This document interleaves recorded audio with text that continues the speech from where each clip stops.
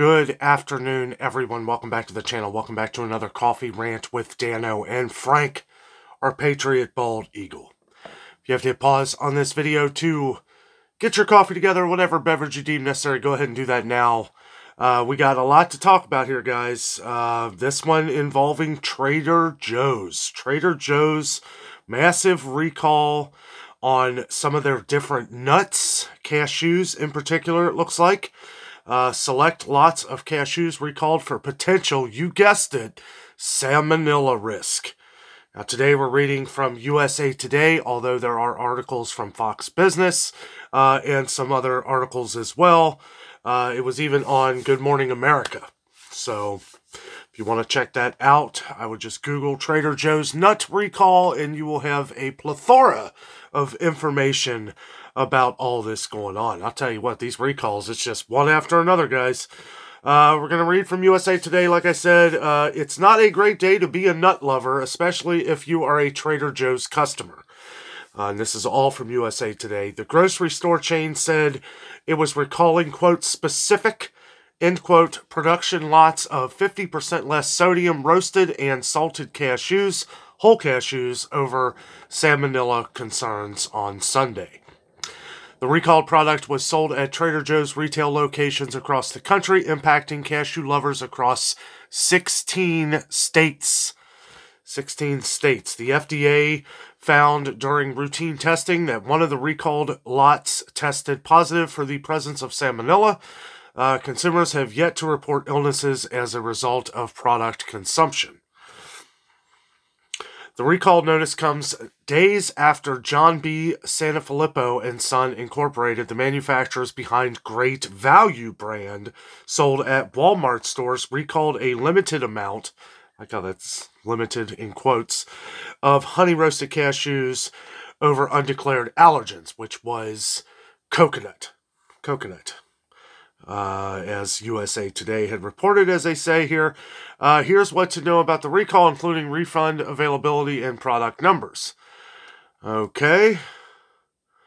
Labels to read. We're going to go over the numbers here. Um, I know that this is a popular one from Trader Joe's. A lot of our viewers shop at Trader Joe's. Uh, I've actually looked at some of the different prices of these products before, so I wanted to get this information out as fast as possible. Uh, one way to check whether your bag of Trader Joe's cashews is part of the, the lot numbers recalled is to check the lot number and best by date match the list included below. The lot number is printed on the back panel of the plastic pouches. Now these are clear. They're like kind of kind of clear plastic pouches. If you've never seen them before, uh, I, there's there's not too many lot numbers, so I'm just going to go over them real quick. Uh, all of them start with the letter T. T is in Tom. So T one two one three nine. Okay, with a uh, best or I wonder why they, they don't say whether this is the best if used by date or not. I guess this is just the date on the bag. So I'm going to give the lot number and this will be the date on the bag. Okay. So T is in Tom 12139 dash February 21st, 2025. So it's the best if used by date. Okay. T 12139 February 21st, 2025. The next one is T12140 March 1st, 2025. The next one, T12141 March 8th, 2025. And the, the last one, T12142 March 10th, 2025. So if you have any of those, those are under the recalled products and you need to take it back and get your money back. Don't throw it away. Put it in a bag or something. Maybe call them. Call them first. Let you know that you have one of the bags affected. Maybe take a photo of it. Maybe you can send them a photo because they, they may not want you to bring it back to the store, but make sure you get your money back. It's the only way this is going to ever end is if you get your money back. I cannot stress that enough. Um, you can also check to see if the product was manufactured in India or Vietnam, according to the FDA. You can probably also find all of this information on the FDA website. Uh, no other lot numbers or products were affected by this recall. It's the 50% less sodium roasted and salted whole cashews. that were sold at Trader Joe's locations. Now get ready. Now this may before I go over the states here, okay? This th- these things have the tendency to grow. Okay, it's a brand new recall. So as we go along here, and I will keep everyone updated as we go along if it doesn't get bigger, but these things have the tendency to get bigger. So even if your state is not included, I would definitely still check those lot numbers that we just went over with the best of use by dates. Um, but the states uh, that they are saying are included is Alabama, Arkansas, Arizona, California, Colorado, Idaho, Kansas, Louisiana, New Mexico, Nevada, Oklahoma, Oregon, Tennessee, Texas, Utah, and Washington. So if any of those states uh, you are in and you have purchased the 50% less sodium roasted or uh, and salted whole cashews, then you need to make sure that you extra check. I would check anyway. I would check anyway. If you have any of these cashews from Trader Joe's, no matter what state you're in, I would check those lot numbers that we just went over just to make sure, just to be safe. Okay. Um, they go on to say consumers have been urged to dispose. Again, we have where they want you to dispose of it first, right? This is the first line in every article I've ever read with recalls, okay? Consumers have been urged to dispose of any and all potentially contaminated nuts as soon as possible as they are not safe to eat.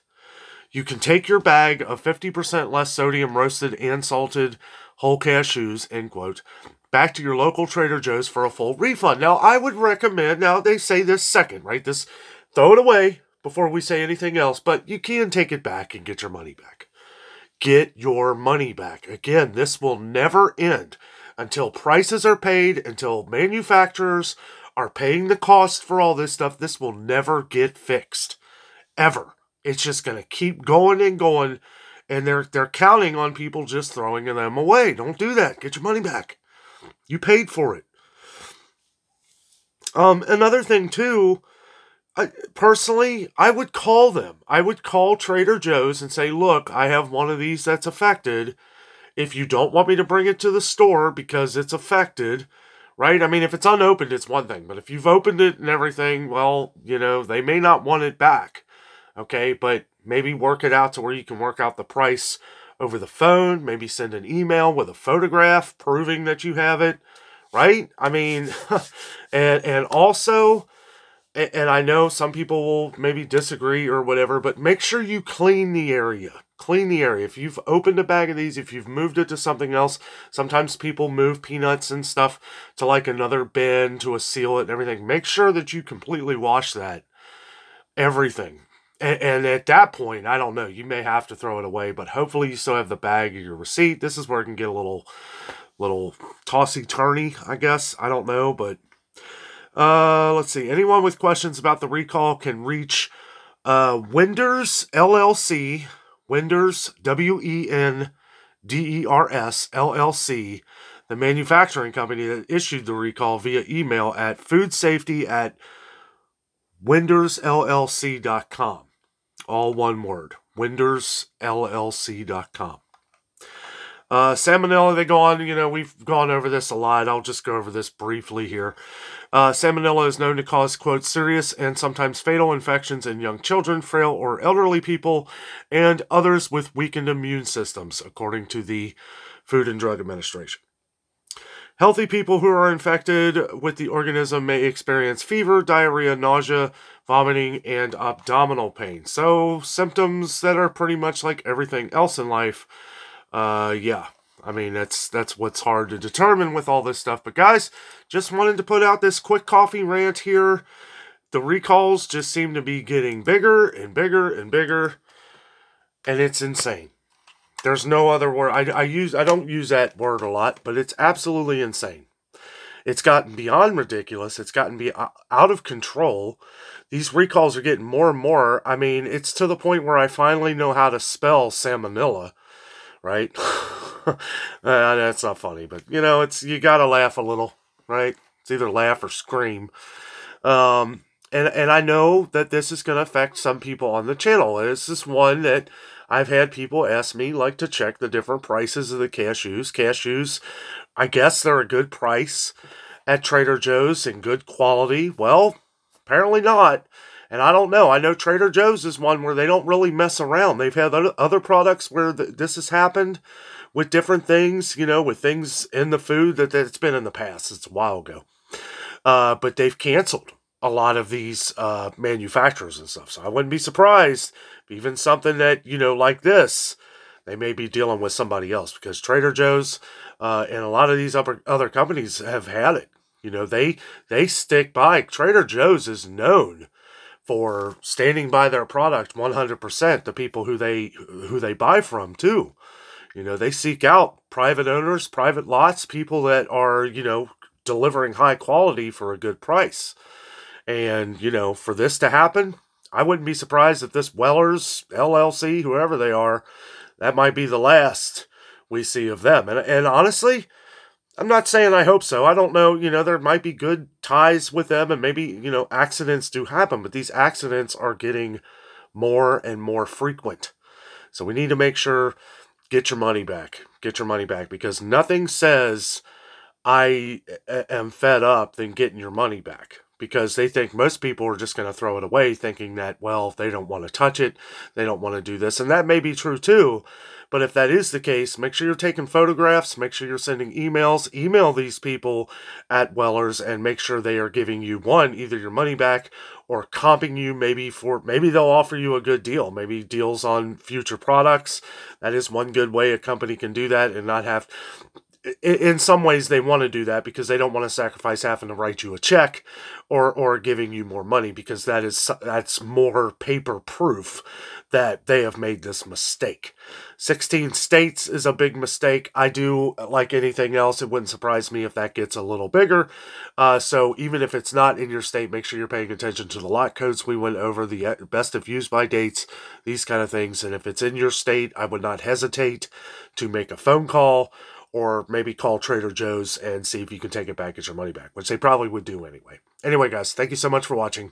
Have a great night.